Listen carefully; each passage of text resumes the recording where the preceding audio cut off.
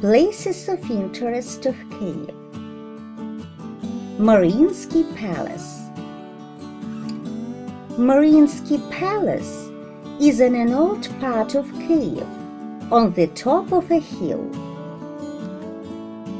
Maria Alexandrovna, the wife of the Tsar Alexander II, gave money to build a big park near the palace.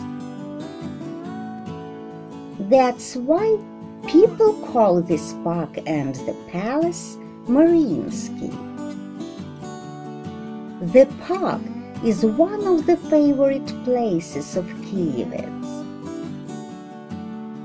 Children are happy here with their bikes, boats, and mini cars.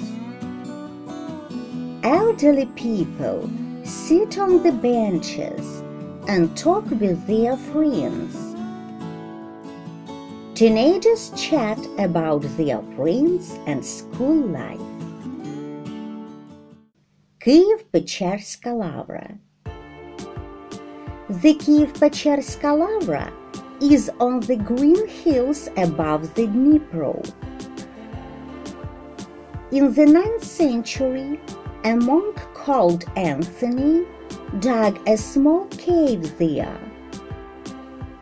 Later, some other monks came and stayed there. Many talented and famous people lived in the Kyiv Pecherska Lavra. They wrote about their lives in the caves. Some of the monks were great artists they painted beautiful icons. Some of the monks were doctors and helped people. Today, the Kyiv Pecherska Lavra is both a monastery and a tourist attraction.